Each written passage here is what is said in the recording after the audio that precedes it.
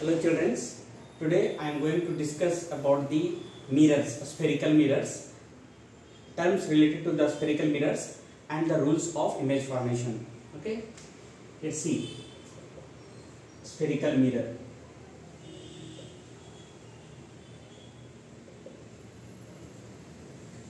See, spherical mirrors are mainly two types. One is concave mirror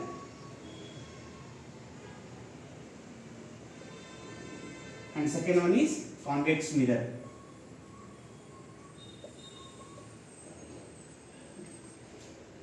If you take a hollow spherical glass, okay, and cut this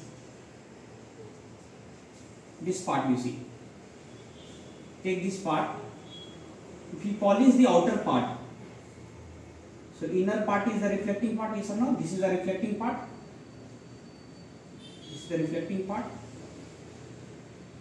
So this mirror is called what a concave mirror. This is what a concave mirror. This is the polished part. Outer part is what a polished.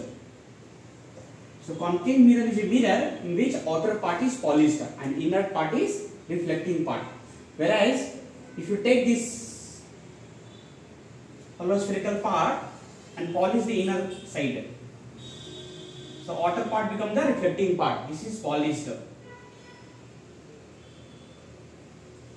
This is the reflecting part.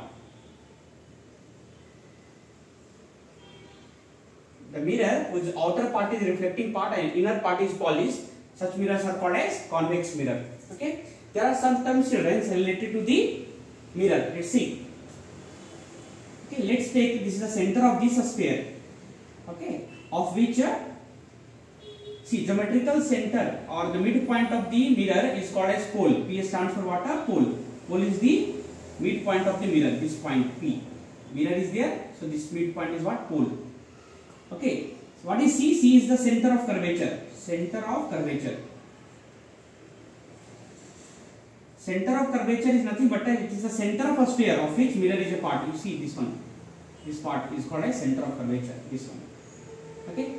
The, the distance from C to P, this distance, CP distance is called as what? A radius of curvature. Radius of curvature. Radius of curvature is the radius of the sphere of which mirror is a part. Okay. See the line joining C to P, this line. Okay, this line is called as principal axis. CP line is called as what a principal axis. Okay. See what happens when if you take if you take a ray of light which is parallel to the principal axis after reflection it passes through one point that point is called as principal focus or just focus we can say.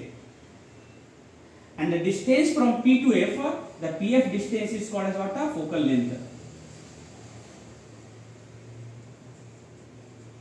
Okay similarly you see this is the mirror convex mirror this is the P this is the C. C is the center of curvature P is the pole. If a ray of light is parallel to the principal axis after reflection it will diverge. It will appear to pass one point. That point is called as what? A focus same thing here. P to F distance is what? A focal length. This distance is what? A focal length. And P to C distance. This is called as radius of curvature. Radius of curvature is generally represented as R.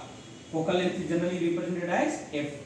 See what happens when there is a relationship between the radius of curvature and focal length? This radius of curvature is two times of focal length. This is the focal length. This is the radius of curvature. Radius of curvature is what? Two times of focal length. Is it clear? Okay now we will see the rules of image formation by mirror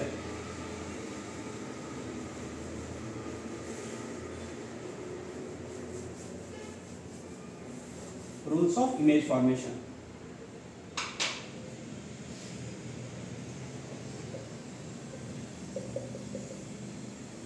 Rules of image formation by a spherical mirror. Okay, first rule. First rule is the suppose let's see this is a concave mirror. This is a concave mirror. Okay, this is the pole. This is the focus and this is the center of curvature. First rule states that if a ray of light is parallel to the principal axis, after reflection, it always passes through the point focus. Okay, in case of concave mirror, this is what a concave mirror. In case of convex mirror, this is a convex mirror, children. This is the pole, this is the focus, this is the center of curvature. If a ray of light is parallel to the principal axis, after reflection, it will appear to pass through one point. That is what the first rule. Second rule. In case of concave mirror, this is F, this is the C. If a ray of light is passing through the focus, after reflection, it become parallel. Okay. Here in this case, this is the pole, this is the focus, this is the center of curvature. If a ray of light is incident towards focus, after reflection it become parallel. Okay. Third rule.